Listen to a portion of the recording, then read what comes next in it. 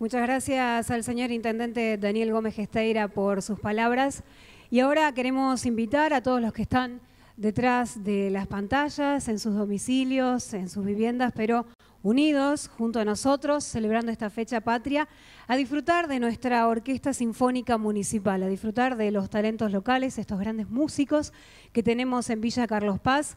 Van a brindar ellos un homenaje a la patria a través de las siguientes interpretaciones. Preludio del Te Deum de Marc-Antoine Charpentier, el oboe de Gabriel Denio Morricone y el pericón nacional de Gerardo Grasso.